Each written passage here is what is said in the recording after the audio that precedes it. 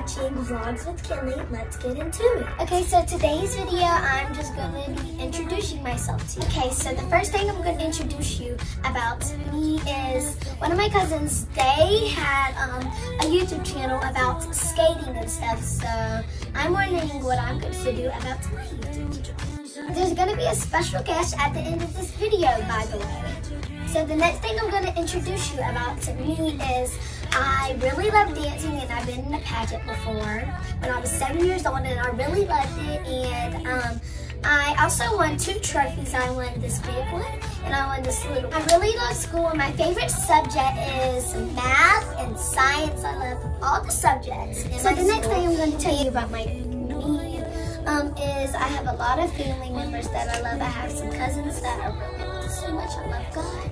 I love my whole family.